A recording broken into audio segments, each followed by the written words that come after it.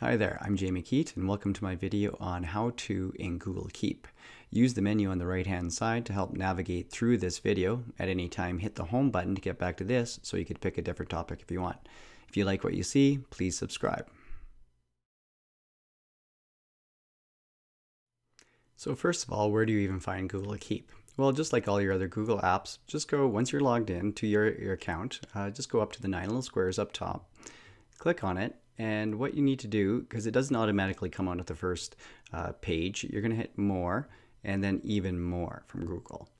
At this point, just kind of scroll down a little bit and then you'll see Home and Office and the last one on the list here is Google Keep. So once I open this up, I'm going to switch account because right now it defaulted to a different account. Uh, I have a have an example in a different account.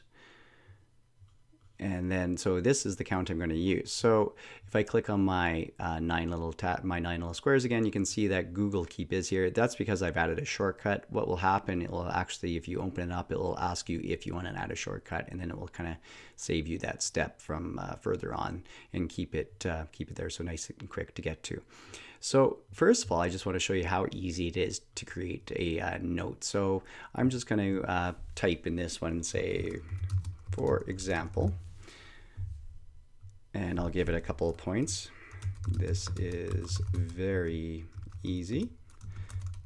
Anyone can do this.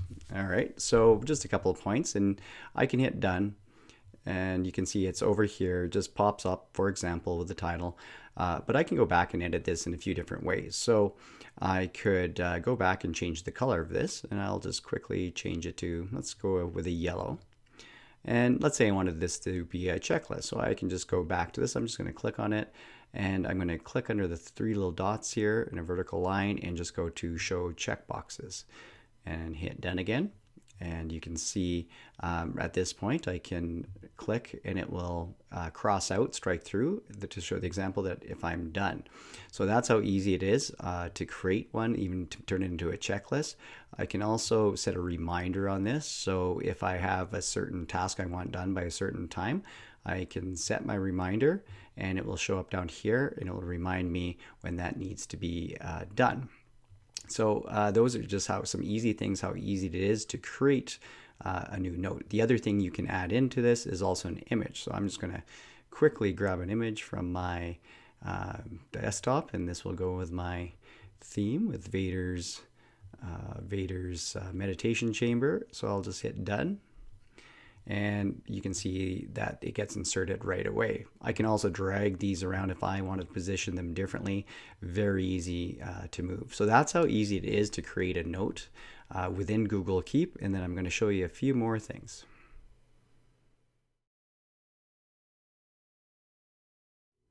Google Keep has some great searching capabilities and it's very easy to use. Just go up to the top here where it says search Google Keep and if you select uh, the down arrow uh, you could uh, select a certain color. Uh, for example, if I picked red, and it will show me my red ones. So if you know how you have them all uh, categorized into different colors, you can just search by the color. I'll just hit the X and go back. Uh, you could also search uh, by audio if you have audio in there. You could search by only the ones that have the images any of the ones that have a reminder, which I don't in that case, or any of the ones shared. Uh, you could also uh, just type in uh, the different uh, things you're looking for and it will find it too. So one thing you can do if you if you end up with you having a lot of notes is you can start to add labels. So for instance, in this one, I've kind of put in a few different ones here.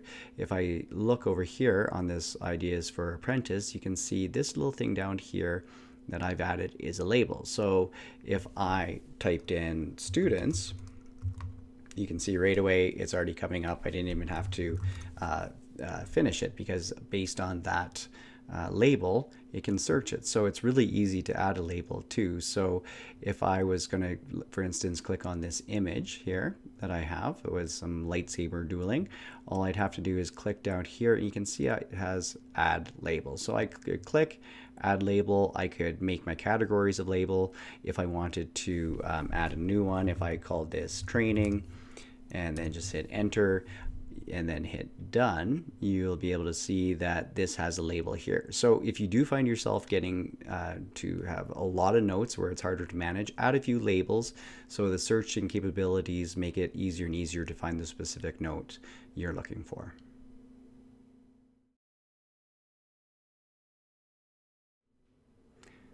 One of my favorite feature in Google Keep is the share feature, and it's very easy to use. I like to use it in the classroom when I have a certain to-do list. I can push it out to a certain student or groups of students uh, in, inside their Google Keep. Then they'll get a list that they can check off, and then I get the updates on my screen to see where they are during the during the day or you know even the week, and I can set reminders on it too. So let me show you how easy this is to do. So all we have to do is like, let's say on this one, this Death Star to-do list here. So I'm just gonna uh, go and um, set, uh, go to my share here and you can see who the owner is right here. And at this point, I wanna share it with somebody to help me with the list. So I'm just gonna type in moff.tarkin. Hit the check mark over here. I can see his image comes up here and hit save and hit done. So I can see by the little image at the bottom here that this note is shared with this person and they have access uh, to edit also. So the one thing is you can't give them only view, uh, they have actually edit on it. So uh, once you see this image at the bottom, that tells you it's shared. So that's how easy it is to share one little note inside Google Keep.